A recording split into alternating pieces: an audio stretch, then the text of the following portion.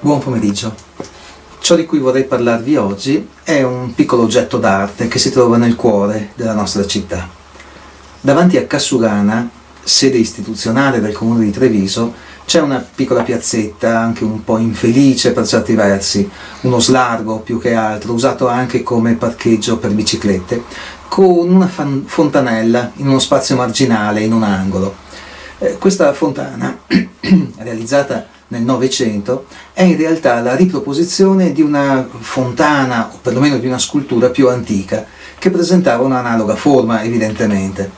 Se ci avviciniamo alla statua eh, vediamo c'è una targhetta eh, e qui c'è scritto Erma dei Tre Visi, copia moderna di esemplare ottocentesco, già ai piedi dello scalone dei Trecento. Cosa mostra questa scultura? Un busto, anzi un tricipizium, una sorta di erma, ovvero un busto umano con tre teste, tre facce. Forse il luogo, praticamente un incrocio viario, voleva un'erma. Eh, sono quelle statue a busto poste ai crocicchi delle strade che derivano il loro nome da Hermes, Mercurio, il messaggero degli dei, protettore dei viandanti, appunto oltre che dei ladri, dei commercianti, dei farmacisti, eccetera. Ma un'erma qui, nel cuore della città, ha senso? Forse no, tanto più che, come abbiamo visto, l'originale si trovava in un altro luogo che non era un incrocio. La prima cosa che viene da pensare, la cosa più semplice, è che voglia in un certo senso parafrasare il nome della città. Tre facce, tre visi, e quindi Treviso, appunto ma la semplicità di questa lettura deve insinuare un sospetto. Non può essere tutto qui, così banale, così scontato. Perché collocare questa fontana di fronte al municipio? Solo per giocare con la parafrasi di un nome? Mettiamo in ordine questi elementi. L'opera non è antica e non conoscendo l'origine possiamo anche accettare che fosse ottocentesca, ma soprattutto era collocata ai piedi dello scalone esterno al Palazzo dei Trecento, quello che conduce alla grande sala dove in origine si riuniva il Consiglio cittadino. Sappiamo che lo scalone di cui si parla è stato spostato in piazza Indipendenza solo agli inizi del Novecento e prima, quando si trovava in piazza dei Signori, non aveva nessuna fontana ai suoi piedi, come testimonia il dipinto di Coretto Medoro, preziosa testimonianza del Settecento, oggi nelle, al Museo di Santa Caterina. Quindi possiamo accettare, anche senza approfondire troppo la questione, che la fontana con i tre visi ai piedi dello scalone di accesso alla Sala dei Trecento è opera relativamente recente. Che sia ottocentesca? Beh, il periodo del romanticismo è plausibile, ma non è questo che mi interessa. Quello che invece ritengo interessante è che adesso questo erma con tre teste è collocato, seppur in un angolo infelice, davanti a Kasugana, sede del potere civico, politico della città, e prima era collocato ai piedi del luogo dove si riuniva il potere civile, politico della città. Che strano. Forse eh, chi ha disposto la realizzazione e la collocazione di questa scultura voleva ricordare agli amministratori della città che questa città si chiamava Treviso? Ma vorrei qualcosa di più convincente. Eh, potrei iniziare la ricerca da molti luoghi diversi, come ad esempio dalla biblioteca del seminario vescovile di Treviso. È una biblioteca antica, raccoglie una quantità enorme di testi, alcuni molto antichi e preziosi, altri più recenti. Eh, molti sono stati donati, sono lasciti di sacerdoti, preti, monsignori eh, che qui hanno vissuto in questo stesso convento dei Domenicani. Eh, tra questi volumi ne consultai uno molti anni or sono che fa parte del lascito di tale Monsignor Giovanni Pollicini e di costui porta ancora delle annotazioni in penna rossa. Il testo è un libro molto importante del Rinascimento, edito a Venezia per i tipi di Aldo Manuzio nel 1499. Ovviamente la copia non è un originale, non è una copia antica, ecco, e si tratta dell'Ipnerotomachia Polifili di Francesco Colonna.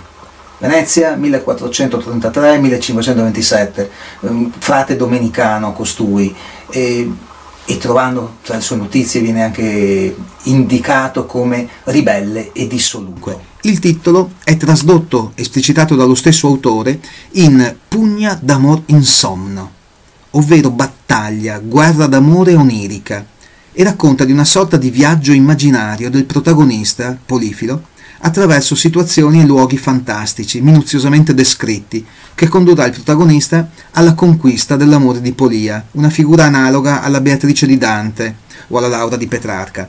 Magari riparliamo di questo testo a proposito di giardini, ma per ora mi soffermo sulle annotazioni e sull'immagine.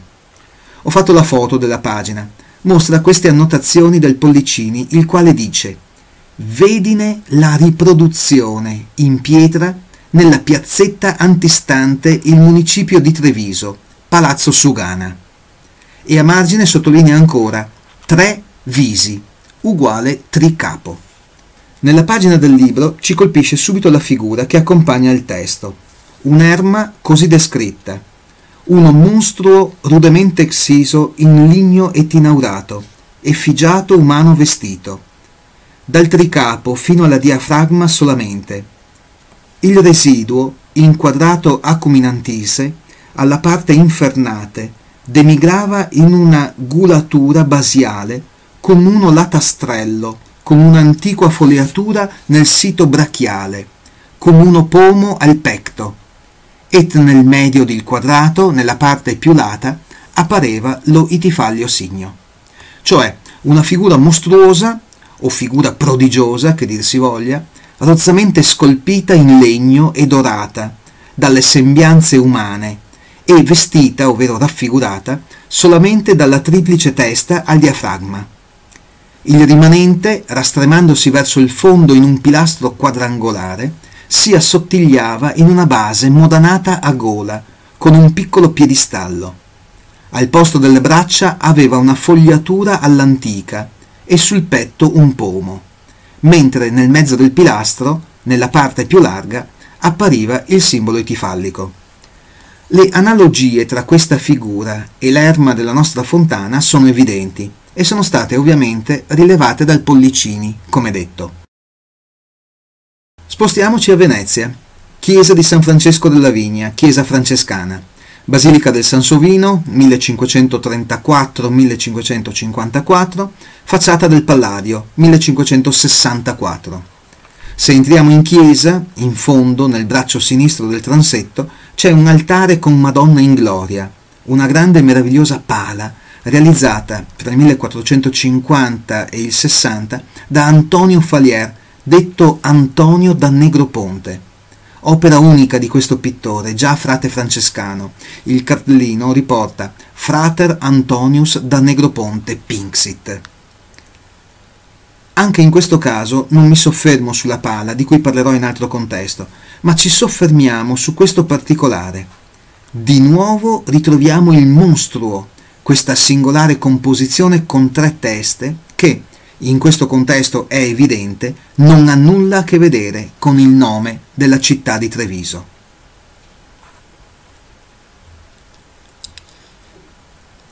Ma non è finita. Giriamo ancora per Venezia e troviamo Ca Vendramin a Santa Fosca.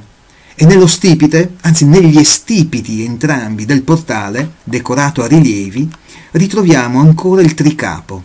Siamo nella parte alta, sommitale, e vediamo il tricefalo Sotto vediamo le rose e sopra il sacro pellicano che si squarcia il petto per nutrire i suoi tre piccoli. Singolare poi che sia proprio in questa casa, abitata da Taddeo Contarini, che Marcantonio Michiel nel 1525 vide il misterioso quadro di Giorgione I tre filosofi, ora a Vienna. Ma non è solo a Venezia o a Treviso che troviamo il tricefalo. Questo è un bassorilievo della scuola di Bernardo Rossellino, oggi nel Victoria and Albert Museum a Londra. Questo invece è un particolare del pavimento della cattedrale di Siena, fine del XIV secolo.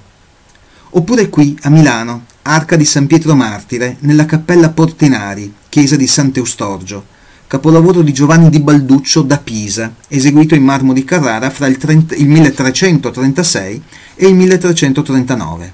Ed altri esempi potremo ancora trovare.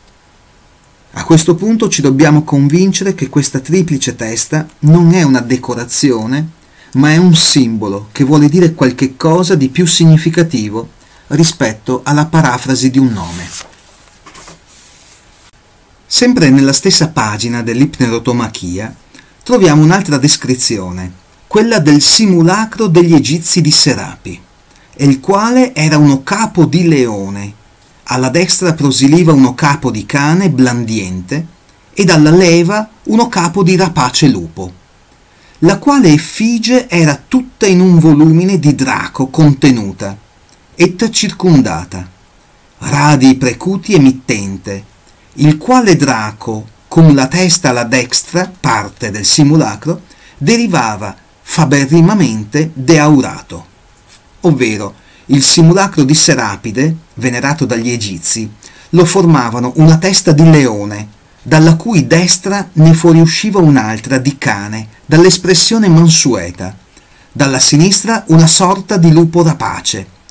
L'intera immagine, che sprigionava raggi acuminantissimi, era compresa nel cerchio di un drago che si avvolgeva su se stesso e la cui testa era rivolta verso la parte destra del simulacro perfettamente dorato. La descrizione deriva da un testo latino molto antico di tale Ambrogio Teodosio Macrobio che aggiunge Beh, io non sto a leggere il latino. Dice, dunque, il tempo presente viene raffigurato con la testa di leone, poiché la sua condizione è stabile e forte nell'immediato, tra il passato e il futuro. Ma anche il tempo passato è raffigurato con la testa di lupo, poiché la memoria di ciò che è trascorso viene sottratta e portata via, come se fosse rapita, diciamo, divorata dall'animale famelico. Inoltre l'immagine di un cane carezzevole accattivante, lusinghiero, rufiano diremmo noi in dialetto, indica l'evento futuro, riguardo al quale la speranza, di cose buone ovviamente, di cose belle, benché incerta, ci alletta. Le tre teste, quindi, possono essere associate a tre teste di animali, il leone, il lupo e il cane, esattamente come appare nella allegoria della prudenza, opera del Tiziano. Realizzato fra il 1565 e il 1570 e conservato presso la National Gallery di Londra, il quadro raffigura tre teste umane, un vecchio, un uomo maturo e un giovane, che sovrastano tre teste di animali, rispettivamente un lupo, un leone e un cane. Nella parte alta è poi riportato il motto che io ho scritto qui nella, nell'immagine sulla base del passato, il presente prudentemente agisce per non guastare l'azione futura. Dante nel convivio afferma conviensi adunque essere prudente, cioè savio, e a ciò essere si richiede buona memoria delle vedute cose e buona conoscenza delle presenti e buona provvedenza delle future. Il passato, il presente e il futuro sono dunque da porsi in relazione ai tre volti raffigurati e compongono un ammonimento che invita alla prudenza, virtù della prudenza, intesa come saggio agire. La prudenza quindi è una sorta di capacità di memoria, intelligenza nell'agire presente prevedendo gli effetti del futuro. E la figura tricipite viene esplicitamente ricondotta a questo tema, rafforzando le tre teste umane con quelle degli animali. Il lupo, famelico, vorace, si nutre di ricordi del passato. Il leone, forte, vigoroso, è la forza con la quale occorre condurre le attività presenti, mentre il cane, amichevole, simpatico, capace di adulare, sembra guardare con spensieratezza e fiducia al futuro. L'opera è nota appunto come allegoria della prudenza ed è proprio alla prudenza che ci dobbiamo riferire. Prudenza come virtù cardinale di straordinaria importanza, particolarmente legata e necessaria all'azione di governo. Questa che vediamo è la Porta della Carta, l'ingresso principale del Palazzo Ducale di Venezia. Viene realizzata nel 1438-1442 da Giovanni e Bartolomeo Bon, su incarico del doge Francesco Foscari. Lo stile è gotico, tardo gotico o fiorito che dir si voglia. È un monumento di grande bellezza, ma assai significativo anche dal punto di vista dei messaggi che è chiamato a dare. Al centro dell'intera composizione il doge è inginocchiato di fronte al leone marciano. Quattro figure femminili lo attorniano, collocate in edicole, due per parte, sugli stipiti della composizione. In alto poi ci sarebbe il busto di San Marco e sulla cuspide la figura della giustizia. Le quattro figure femminili rappresentano le quattro virtù cardinali e, a scanso di equivoci, l'artista indica i loro nomi sui rispettivi piedistalli, e quindi la giustizia, in alto a sinistra, la prudenzia, la fortitudo, ovvero la fortezza, il coraggio, e la temperanzia, ovvero la temperanza, la moderazione. Quindi, tra le virtù in cui il doge si riconosce, tra le virtù che proclama come sue ispiratrici, come riferimenti per il suo governo, ma direi più in generale per l'azione di governo della Serenissima, c'è proprio la prudenza. Rilevare questo aspetto, ovvero la prudenza come musa ispiratrice dell'azione di governo della Serenissima, eh, non è cosa dettata da una lettura moderna, eh, magari anche un po' faziosa. È un aspetto assai chiaro già in epoche passate e mi riferisco in particolare a un attento osservatore del Seicento, non veneziano tra l'altro, tale Cesare Ripa. Chi era costui?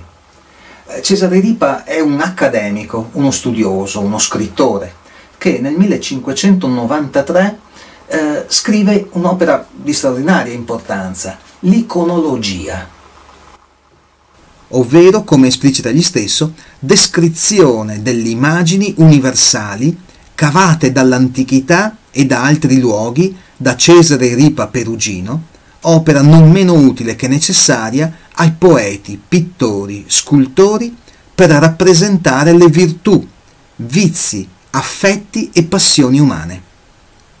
Si tratta quindi di un'opera enciclopedica che guida la rappresentazione di concetti astratti.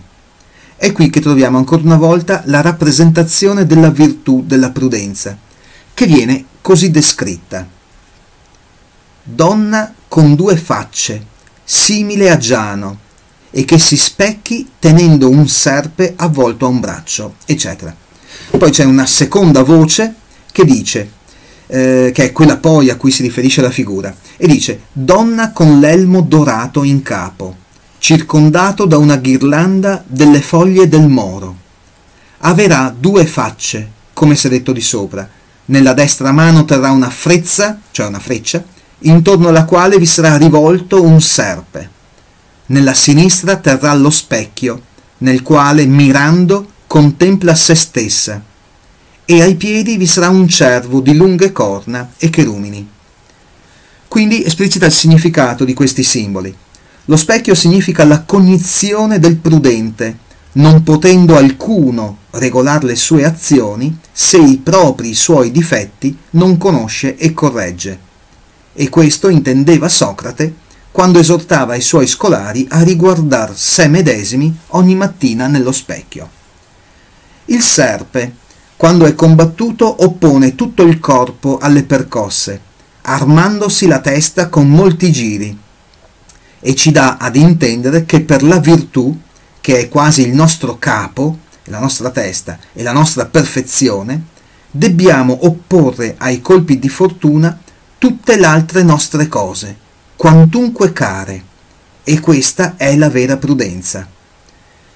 Per, però, mh, inteso come perciò, si dice nella Sacra Scrittura Estote prudentes sicut serpentes, siate prudenti come serpenti. Ma soprattutto ci dice, le due facce significano che la prudenza è una cognizione vera e certa, la quale ordina ciò che si deve fare e nasce dalla considerazione delle cose passate e delle future insieme. L'eccellenza di questa virtù è tanto importante che per essa si rammentano le cose passate, si ordinano le presenti e si prevedono le future, onde l'uomo che ne è senza non sa racquistare quello che ha perduto, né conservare quello che possiede, né cercare quello che aspetta. Ma sempre qui, nell'iconologia, troviamo anche un'altra interessantissima descrizione, quella della marca trevisana o trivisana. Non si tratta della marca trevigiana come la intendiamo noi oggi, ma piuttosto della regione veneta, che costituisce poi il nucleo della Repubblica di Venezia. Eh, leggere il testo mi sembra utile serio per non proporre così interpretazioni personali e tendenziosi. Eh, scrive il Ripa, Marca Trivisana, una donna leggiadra et bella, che abbia tre facce. Una donna leggiadra e bella, che abbia tre facce. Avrà il capo ornato di corona turrita con otto torri d'intorno e nel mezzo una più eminente dell'altre. Sarà vestita sotto di color azzurro. Avrà una sopraveste o manto di oro ricamato di spighe e fregiato di verdeggianti e fruttifere viti. Starà a sedere sopra il dorso di un alato leone. Terrà la destra mano appoggiata ad una quercia, dalla quale penda un rostro di nave o di galera e con la sinistra mano tenga con bella grazia un libro ed anche un ramo di ulivo. Quindi esplicita di nuovo. La provincia di Venezia, che dai Longobardi Marca Trivisana fu detta, per aver eglino posto il seggio del marchesato nella città di Trevigi, è provincia nobilissima, al pari d'ogni altra che sia nell'Italia, abitata già dagli Euganei, poscia dagli Eneti e Troiani, che dopo la rovina di Troia con Antenore in Italia passarono. Questo è sostanzialmente legato alla leggenda. Ella, questa marca trevisana, ella di presente contiene in sé nove città principali e un gran numero di villaggi, non solamente per la grassezza del terreno, il quale è fertilissimo, ma in gran parte per lo sito amenissimo sì che si può ragionevolmente dire che quella bellezza che nelle altre regioni d'Italia si vede per la deliziosa coltura degli abitatori, in questa solamente si vegga per l'opera della gran maestra natura, che così l'ha voluta fabbricare. Le città sono Vinegia, la quale è capo e signora della provincia, Verona, Vicenza, Padova, Trevigi, Tre, eh, Ceneta, Belluno, Feltro e Trento, che è posto al confine di Germania nell'Alpe, delle quali città sono in ogni tempo e in ogni età riusciti molti uomini illustri, illustri in lettere e in arme, che lungo sarebbe il farne qui menzione.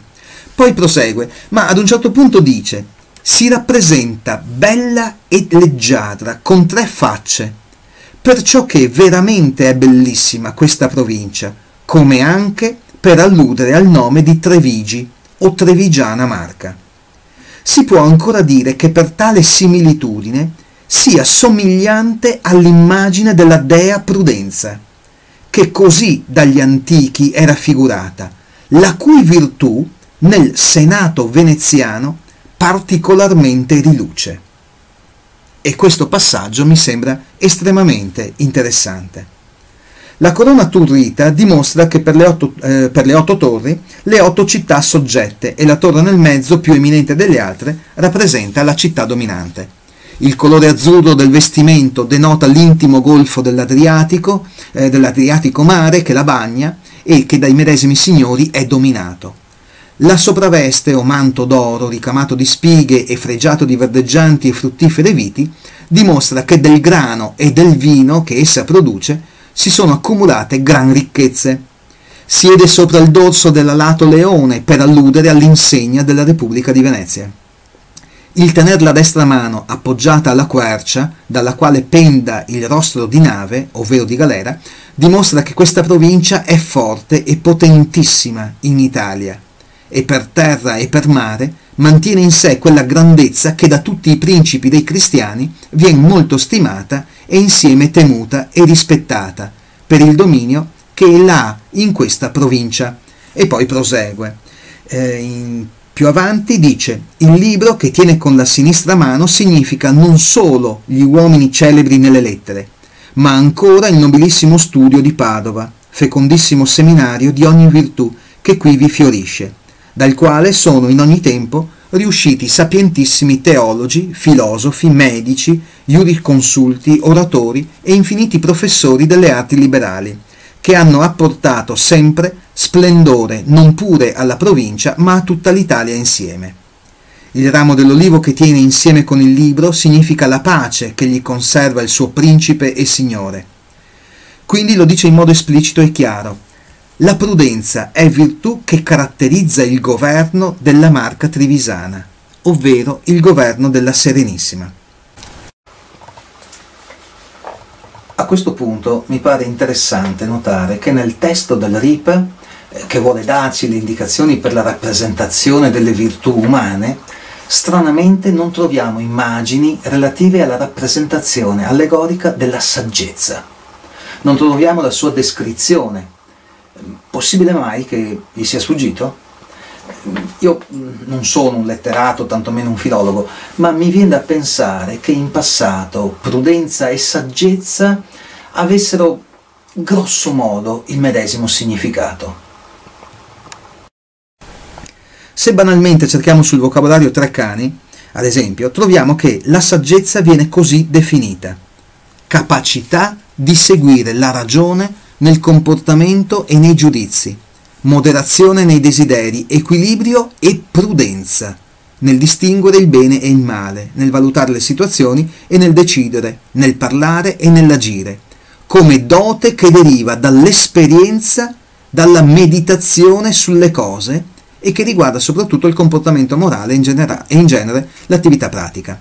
In un altro vocabolario italiano, il Garzanti, alla voce saggezza troviamo questa definizione Virtù, qualità che consiste nella capacità di seguire la retta ragione nella condotta della vita, nell'agire, nel valutare, nel consigliare, secondo un criterio di prudenza e di equilibrio. La sapienza che deriva dall'esperienza e si applica all'attività pratica. Mi pare evidente il legame tra saggezza e prudenza. Anzi, eh, sono proprio tentato di far coincidere le due virtù. A questo punto, e concludo, eh, mi sembra di poter interpretare la statua tricefala davanti al municipio come un monito ai politici, agli amministratori. Agite con prudenza, ovvero con saggezza. Sia questa la virtù che determina il vostro agire nelle scelte amministrative. E come capite bene, non è questione di colore politico, eh, non è questione di tipo diverso, è un monito trasversale e coinvolge tutti, di qualunque schieramento. Per governare è necessaria la saggezza. Almeno questo sembra ci vogliano dire attraverso le pietre gli uomini che ci hanno preceduto. E vi ringrazio. Buon pomeriggio.